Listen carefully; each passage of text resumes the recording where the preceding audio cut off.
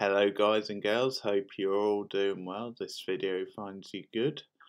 And I'm going to be talking about the new Amazon Prime movie, or a new Amazon Prime movie, and it is called One Night in, One Night in Miami. It's a new release, and it's the first film to be directed by Regina um, King, who's, who's an actress, been in a bunch of movies. Um, think she was in If Beale Street Could Talk from the director of Moonlight, came out a couple of years ago now. Also, pretty sure she played one of the leads in, in Girls Trip, that comedy movie. But bunch of films. Um, I think she'll be quite familiar. Um, to some people, anyway.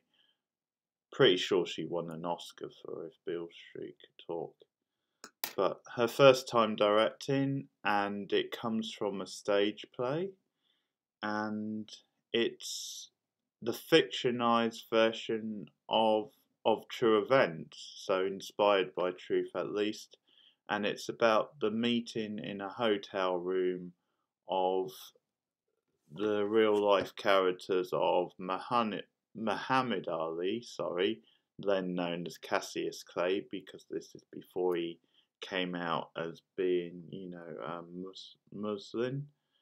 Um, also, you've got the singer Sam Cooke. You've got the NFL superstar um, Jim Brown, and you also have Malcolm X, of course, a massive political figure around this time. And they, they meet in the hotel. They're there because Ali or Clay as he's known then has has a big fight that weekend in town and it's actually the fight that made him uh, it's big win against Sonny Liston. It's it's that sort of win which puts him on a, on the map as a boxer. But they're all there and they take the opportunity to meet up. And it's something Malcolm X has arranged. But originally the others are there under the impression that there's going to be like politicians there as well, other politicians, white politicians from the government, from um, well, it's not Kennedy anymore because he's this is after he he was assassinated, but from the president's office. And that's the idea that they're there to talk about civil rights and, and things like that. And it turns out none, none of the other officials shown up, so it's just Martin, not sorry, um, Malcolm X, and the three others, and it, uh, you can sort of see that it's from the stage play because a lot of the movie, after a certain point, takes place in that hotel room, and you're sort of bouncing back and forth between the characters, and Malcolm X is there's various things that happens. I mean, this is spoiler free, so I won't really go into it. But Malcolm X is trying to get Ali to come out as Muslim. He thinks that that'll be a big stand and it'll be a big step forward to have Ali on his side. He's planning on starting this new political sort of movement.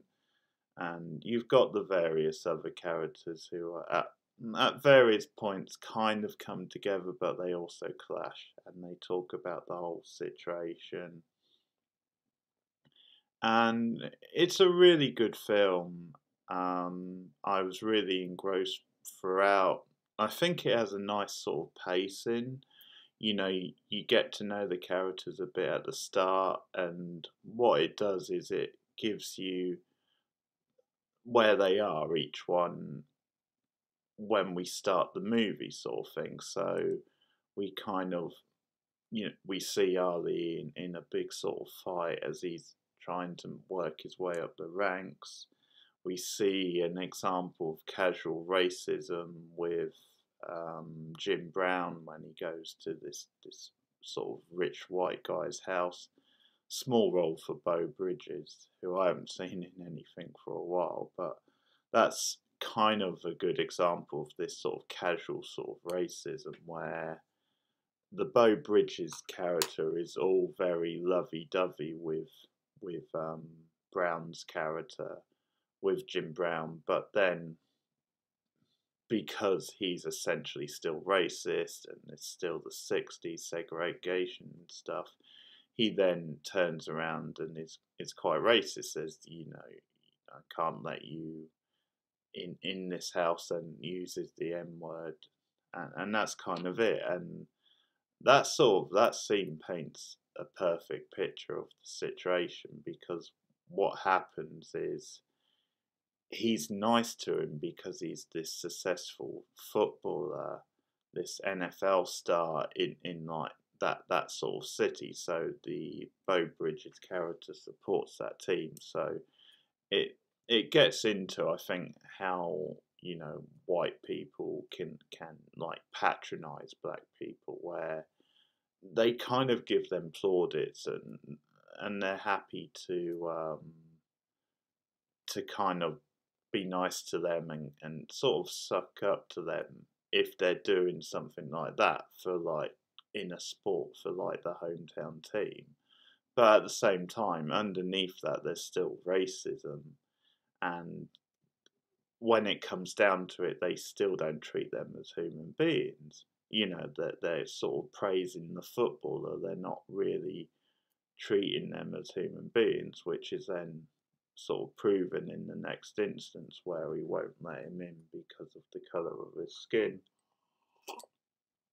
And the way that just comes out is like really shocking, but he captures it really well.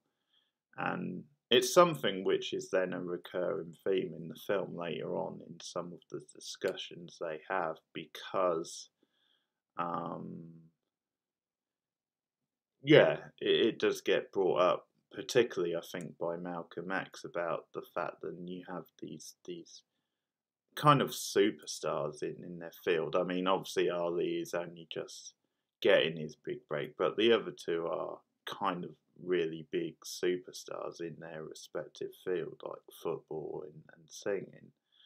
And so it, it's sort of made a point about the fact that are they kind of selling out? That becomes a talking point.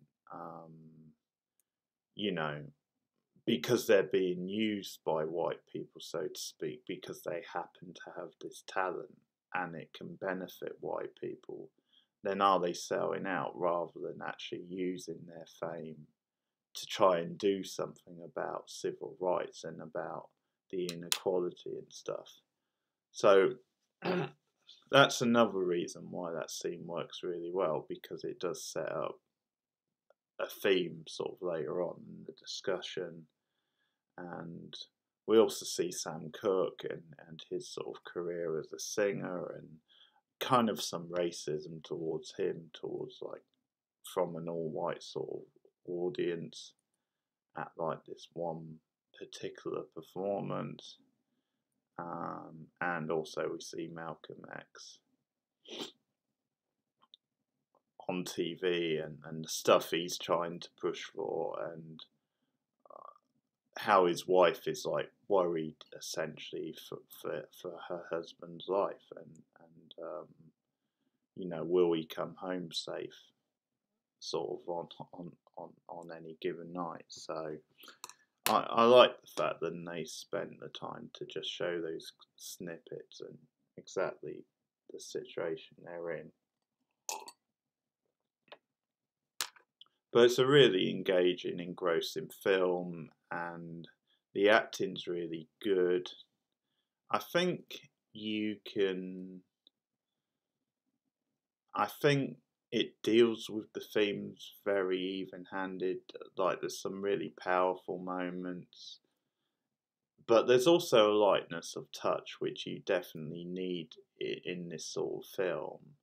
And and that doesn't feel forced. It feels very natural because it feels like this group of people who know each other quite well and and they just relate to each other and they do find humor in in these sorts of things and obviously they're sort of young guys as well particularly i mean ali's only 22 at this point and i think the others are meant to be young maybe apart from malcolm x i get the impression he's a bit older i, I don't actually know his his age at this point, but really good chemistry between the four leads, and it really flows nicely.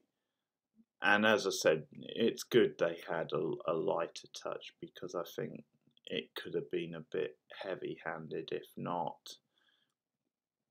And w- one thing I'll say is that even though it comes from a stage play, it never really felt overly stagey, which is always the danger. And so I think that's definitely credit to King uh, directing for the first time. She she does a really solid job, and probably one of the advantages of being an actor and then directing is that you you have this sort of rapport with actors, and I think that worked really well. I think she was able to kind of talk to them and speak on their level and, and get these performances out of them. Good cast anyway, but so I think King deserves props. I think she she she, she does does a good job here. Another thing I liked when it came to the casting is then it was very unstarry, unshowy sort of casting. Um, you know, these leads are, are kind of little known actors. They definitely popped up in a few things, but they're not big Hollywood style stars. And it's always the way in these like true life stories where you have famous real life people that if you cast someone too well known, it can be distracting and it can sort of take you out of it. But this definitely doesn't, you know, as I said, these are not massive names. Like like the guy Sam Cooke, he's best known for being in in Hamilton on stage um, which is what another reason why it's good casting because he's obviously got the chops when it comes to the singing because you do see him singing at, at a couple of times. There's some good musical moments as well in this. The music is used really well. Like there's again, I'm not really going to go into too much spoiler stuff, but there's a good scene where um, Malcolm X actually uses like a bit of music from Bob Dylan, which is sort of relevant to, to the argument he's making, which kind of turns it around on Sam Cooke and kind of says, well, you, you know, this white guy who doesn't come from our background, he's actually saying more than you about racial inequality in, in this one song. And there's re- re- really good use of music like that. But yeah, the actor who plays Sam Cooke is like best known for being um, in Hamilton on stage.